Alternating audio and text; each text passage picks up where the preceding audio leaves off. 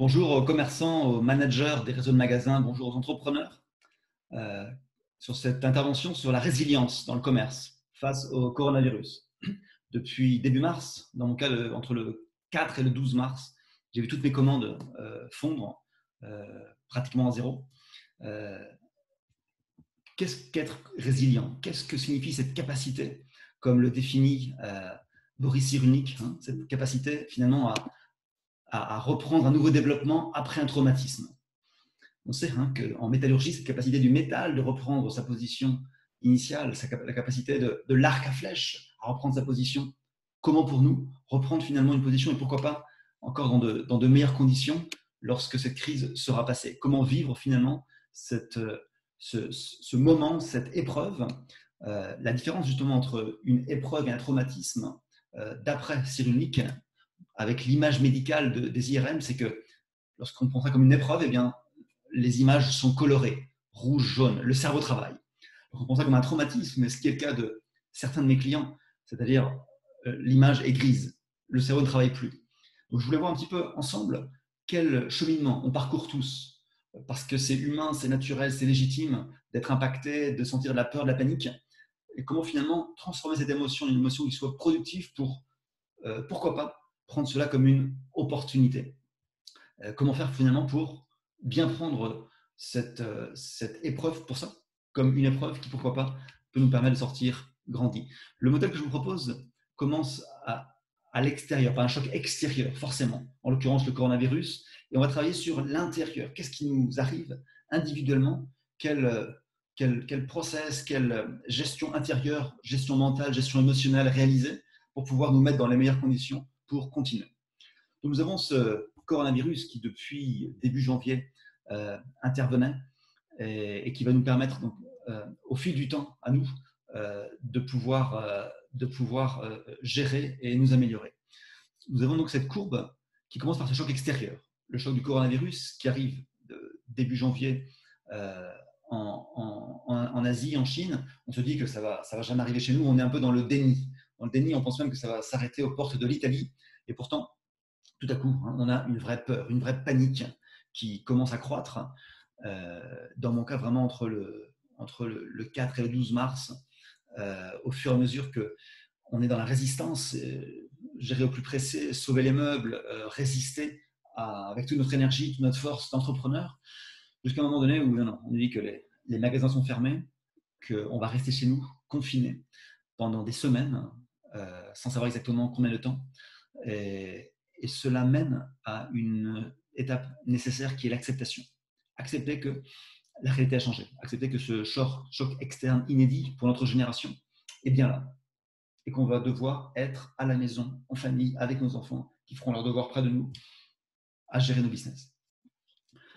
Et on est dans une autre émotion qui est le flow.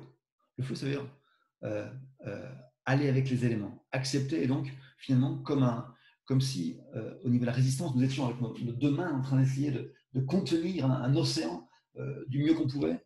C'est une émotion qui, épuise et qui est forcément légitime et nécessaire à un moment donné. Dans le flot, on est comme un, bouchon de liège qui se trouverait à flotter au-dessus des flots euh, et qui finalement serait disponible qui, pour observer. Et cette émotion du flot, c'est un petit peu ça, où on souhaite arriver. Afin de découvrir le sens, le sens de ce qui se passe le sens de ce qui nous arrive individuellement et collectivement. Et franchement, on a déjà des évidences hein, de, sens en termes d'interconnexion, en termes d'écologie. Il semble que le monde, le monde aille mieux. Euh, en tout cas, cette étape de la découverte du sens est nécessaire dans tous les processus de résilience. Et pour enfin pouvoir nous reconstruire, reconstruire euh, nos entreprises, nos commerces et penser au coup d'après. Hein, et euh, mettre toutes nos capacités, mobiliser nos capacités pour penser au coup d'après, c'est-à-dire à ce relancement. Donc si on prend vraiment euh, la ligne du temps, hein, on a là un passé, quand on est dans, la peur, dans la résistance, on, veut euh, se tenir à ce, passé. Hein. Accepter, c'est vivre le présent tel qu'il est. Et le présent tel qu'il est s'appelle coronavirus, s'appelle dimension collective d'une émotion à vivre ensemble. On a tous vu, par exemple, que ces derniers jours, on a tous appelé nos meilleurs amis, nos parents. On, s'est ressenti encore plus soudé qu'avant. C'est ça le présent qu'on a à vivre aujourd'hui, hein. afin de construire un futur. Et ce futur, on va voir quelles sont les bonnes questions à se poser et quelles, mentalement, euh, dans, quelle, euh, dans quelle prédisposition nous trouver. Parce qu'on se rend compte que lorsqu'on était dans le, dans le, déni, dans la peur, on était dans le reptilien, dans ce cerveau de survie, ce cerveau euh, qui est nécessaire aussi, ce cerveau qui, génère par exemple la peur, qui est une des six émotions fondamentales. Peur de perdre notre trésorerie, peur de perdre notre business, peur de peur, de peur, de perdre pardon, euh, bah, notre, notre, notre substance hein, euh, et nos, ressources. On entre lorsque dans l'acceptation dans ce cerveau émotionnel. On s'assure qu'il soit euh, eh bien, disponible, qu'il soit centré, centré sur une émotion qui va permettre de faire travailler le néocortex, c'est-à-dire réfléchir. Parce qu'il faut réfléchir, il faut prendre des décisions maintenant certains de mes clients, lorsque le lundi 16 mars, j'ai décidé de contacter individuellement 43 de mes clients. Euh, initialement à travers un message vidéo WhatsApp de une minute, juste pour partager euh, ma sympathie et mon soutien avec chacun d'entre eux. Et à ma grande surprise, tout le monde m'a répondu. Tout le monde m'a répondu dans, parce qu'on se sentait euh, en communauté, on se sentait vivre une, expérience commune, certes traumatisante, mais en même temps euh, qui nous soude, qui nous soude et qui va nous mener à prendre les meilleures décisions dans les jours et les semaines à venir. Une décision, par exemple, consiste à, décider qu'est-ce qu'on veut faire de ce temps, à quoi va-t-il servir? Euh, c'est là aussi quand on parle de découverte de sens. Hein. Ce temps ici confiné va-t-il servir à nous former? Va-t-il servir à, retravailler notre vision stratégique? Va-t-il servir à, à une meilleure base encore sur notre entreprise? En tout cas, voilà les, trois cerveaux, les trois moments temporels. Et je vous propose quelques questions, quelques questions forcément de coach, hein, c'est mon métier. Euh, Lorsqu'évidemment, on est dans le choc et certains de, mes clients se trouvent sur, cette ligne-là, hein, pas forcément euh, chacun des moments différents. Comment allez-vous? Comment allez-vous? Une question essentielle euh, à se poser à chacun. Comment est-ce que je vais aujourd'hui?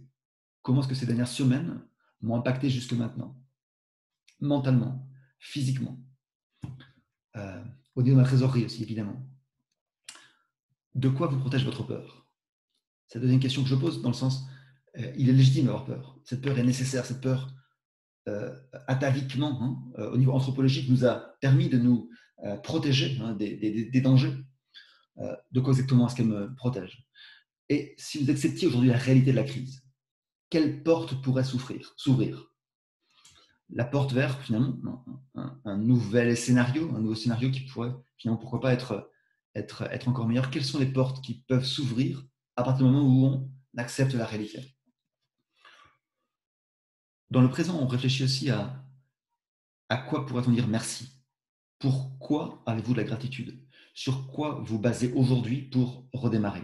L'acceptation, c'est dire merci merci éventuellement d'avoir une, famille qui l'a réunie, d'avoir euh, des proches, d'avoir euh, une entreprise qui jusque maintenant a bien fonctionné. Euh, c'est important de, de, se reconstruire à partir de cette émotion de la gratitude et d'entrer dans ce, dans flot, hein. c'est-à-dire réfléchir aussi à ce qu'on a appris, réfléchir à ces dernières semaines inédites. Qu'est-ce qu'on a appris individuellement, collectivement que nous dit l'environnement hein, L'environnement apparemment dit que, ça va mieux, dit que les villes sont moins polluées, dit que les, dauphins reviennent dans certains ports italiens, euh, que certains poissons reviennent à, Venise, les oiseaux recommencent à chanter dans des villes comme Paris. Bon, c'est intéressant en tant qu'environnement et dans cette, cet enjeu que depuis des mois, des années, on commence à nous alerter. Peut-être que justement, on avait besoin en tant que société, peut-être en tant qu'entrepreneur, de, cette prise de conscience brutale. Quel impact positif peut avoir cette crise sur nous, sur moi, sur vous? Impact positif sur euh, le temps peut-être de la réflexion, le temps pourquoi pas de la formation. Quelle version de vous-même souhaitez-vous montrer dans ce nouvel scénario? Dans ce nouveau scénario, c'est-à-dire, euh, nous avons tous, en tant que personne, une palette de ressources, une palette de versions de nous-mêmes. En tant que patron, en tant qu'entrepreneur, en tant que manager, eh on, délivre, on montre une version de nous-mêmes. est-ce que finalement cette gestion de la crise, cette gestion en plus confinée, nous invite à démontrer une nouvelle version de nous-mêmes, individuellement et collectivement, afin évidemment de, euh, je vais enlever ça, afin d'identifier aussi les, opportunités. Hein. Euh, probablement que ces, prochains jours, on a des opportunités à identifier. Que pouvez-vous faire? Que pouvez-vous cesser de faire de ce qu'on faisait jusque maintenant hein? Quelles aides publiques pouvez-vous obtenir? Probablement que cet enjeu, cet impact public va euh, faire l'objet d'une réponse euh, collective. On verra bien ce que disent les, les gouvernements des différents pays. Et enfin, une question peut-être de sens, une question peut-être profonde, philosophique, mais qui, à mon avis, est nécessaire sur le. Imaginez-vous lorsque vous serez retraité, au terme de votre activité professionnelle, votre carrière, et que vos petits-enfants vous diront grand-père, grand-mère, toi, qu'est-ce que tu faisais en 2020 durant la crise du coronavirus?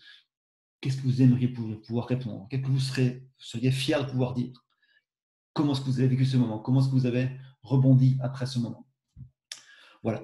C'est donc quelques questions euh, que je vous invite auxquelles je vous invite à, réfléchir, avec aussi cette phrase justement de, Boris Cyrulnik hein. La douleur est inévitable, la souffrance est une option. Il est légitime qu'on ressente de la douleur, et moi j'en ai ressenti en tant que patron de, de Capquelen, de voir comment mes, mes carnets de commandes fondaient. Et finalement, la souffrance est une option. C'est-à-dire qu'on peut décider d'avoir une nouvelle approche, une approche constructive, une approche euh, adulte, et de se dire qu'on avance. Euh, ce cheminement est évidemment aussi un cheminement possible pour les États. On a vu comment nos pays, hein, euh, la France, l'Espagne, ont, ont, vu ce choc arriver et ont eu initialement un déni. Un déni dans le sens où non, ça, n'arrivera pas chez nous. Et finalement, comment on a essayé d'y résister jusqu'à un moment donné où on doit bien se prendre hein, et se le prendre en pleine face hein, et accepter que la réalité est là. Et probablement qu'il y a aussi un, un cheminement ces prochaines semaines, ces prochains mois sur le sens qu'a eu, le sens qu'est en train d'avoir pour nous cette euh, crise du coronavirus et une reconstruction individuelle, collective, que j'espère encore. Voilà, c'est quelques réflexions que je souhaitais vous partager aujourd'hui afin de bah, nous permettre euh, de mettre en perspective ce qui est en train de nous arriver, et puis pourquoi pas, de construire ensemble un monde meilleur pour le commerce, pour nos entreprises et pour nos sociétés. Merci beaucoup, très bonne semaine.